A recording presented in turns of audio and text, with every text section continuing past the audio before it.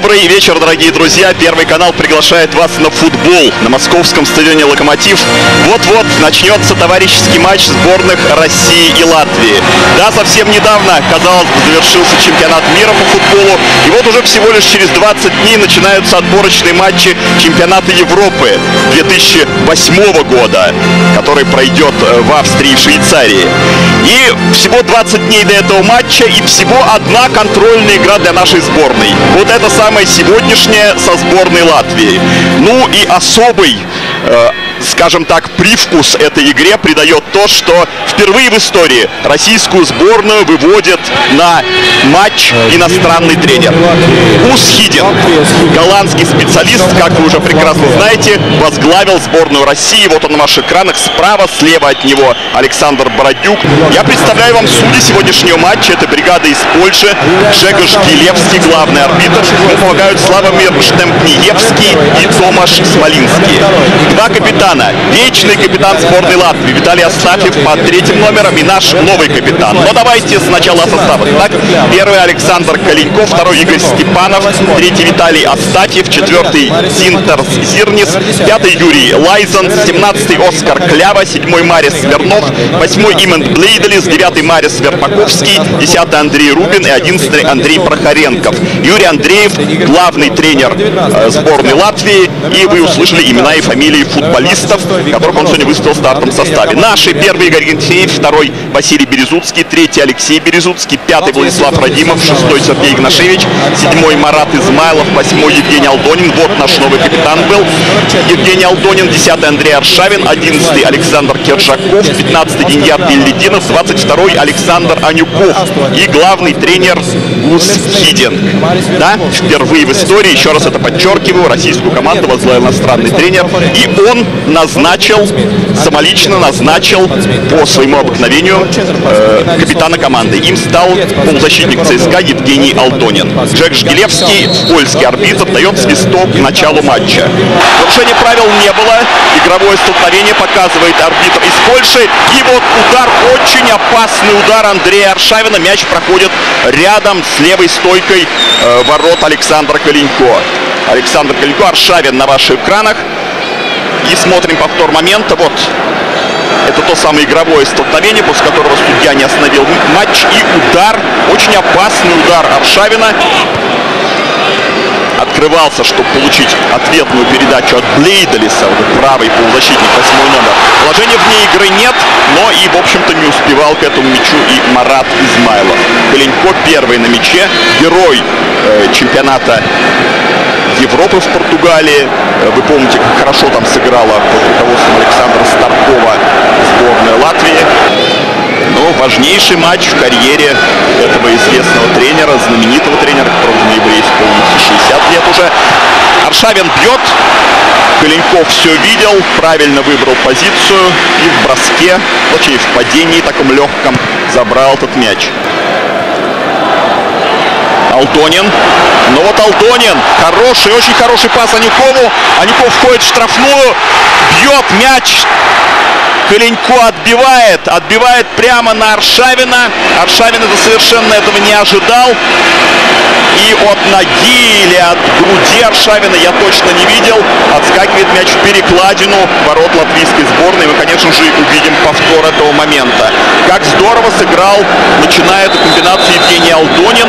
Я должен сказать, что Алдонин пока, в общем, на мой взгляд, смотрится э, лучше многих в составе нашей сборной. Смотрите, какой пас мимо Лайзенса на Анюкова. Анюков бьет.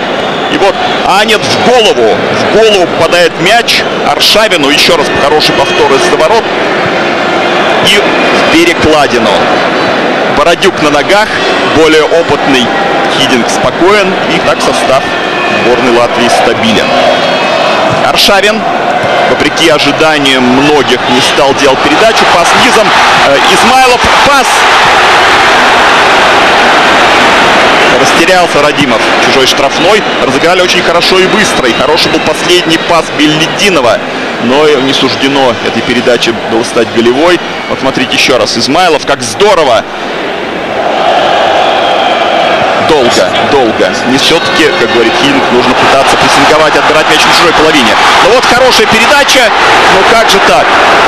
Как же так? Анюков на этот раз не бил, сделал прострел. В принципе, по-моему, на эту передачу мог выходить и Измайлов.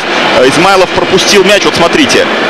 Да, Измайлов нет, все-таки пытался Измайлов дотянуться, у него не получилось, но э, Белединов-то видел, что Измайлов не принимает этот мяч, поэтому был или должен был быть абсолютно готов к удару. И в такой убойной позиции э, Белединов на родном стадионе, где знакома каждая кочка, а кочек-то, в общем, по-моему, нет на отличном газоне локомотива. Неожиданный сильный удар Аршавина, так что не смог намертво поймать мяч Калинько, э, но Киржаков не успевал на добивание, и поэтому довольно комфортно в этой ситуации Калинько себя чувствовал. Отбитый мяч сам же и накрыл. Польский арбитр Гжегош Гилевский добавил одну минуту. И повтор удара. Ну, неловко так Калинько принимал этот мяч. Может, потому что, во-первых, удар был сильным, ну и, конечно, прежде всего, потому что мяч после удара нашего полузащитника ударился о газон. Лоськова, возможно, не было с самого начала матча, э, потому что он по домашним обстоятельствам пропустил первый день сборов и позже приехал в сбор. Может быть, как-то вот это объясняется. Э, этим объясняется его появление. А это, кстати, вот жена э, нашего капитана Евгения Алтунина была сейчас на ваших экранах. Лоськов. Хороший пас. Смотрим. Положение вне игры нет. Ой, можно бить. Можно бить поворотом. Если бы поточнее ударил Аршавин. Ведь ворота были пустые. Э, смотрите, значит, передача. Положения вне игры нет. Клинько вроде бы хорошо вышел из ворот, опережая Павлюченко, но отбил э, не точно, прямо в ноги Аршавину.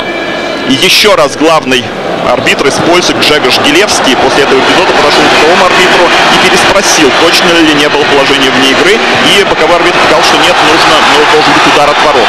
А значит, офсайда не было. Снова выходит Калинько. Играет в подкате, как защитник, выбивает мяч из-под ног Аршавина, очередной угловой. Теперь у нас э, еще один человек есть, который может подавать на своем домашнем, на родном стадионе.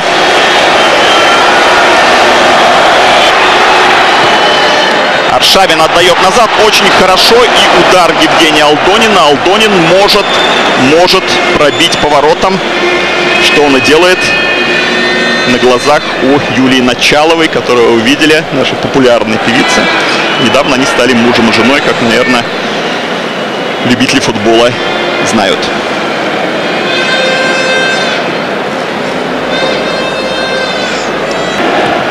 Алдонин. Ну вот хорошая позиция. Ну давай.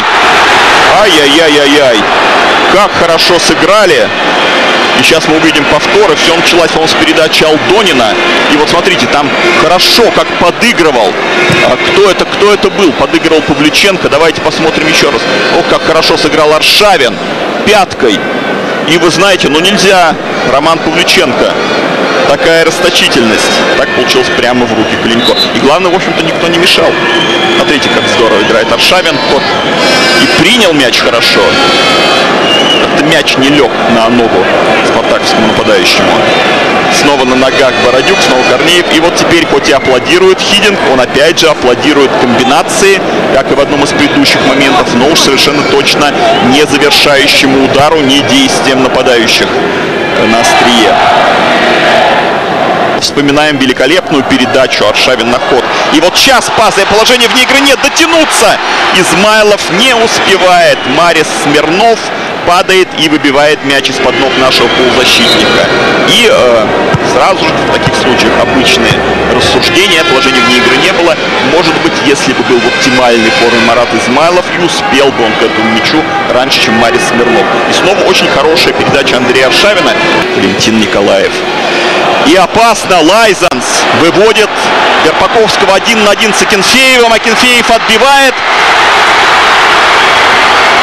падает под удар Василий Березуцкий. Кажется, что мяч попал в руку Березуцкому, но так или иначе Василий спасает свою команду. Сначала ее спас Игорь Акинфеев. Какой момент, какой пас Лайзенса, как пропустили выход Верпаковского. Верпаковский ждал. Ой, ну видите, там кто-то из Березуцких пытался сделать искусственный офсайд. Очень неловко. Но самое это интересное, что да, это был э, Алексей Березуцкий, делал неловкую искусственный офсайт, а в итоге они вместе с братом, сначала Василий, а потом Алексей, и спасли наши ворота на самой их ленточке. И как досадует Юрий Андреев. Да, ну а чемпионат его, смотрите, еще раз выход. Ногой сыграл Акинфеев.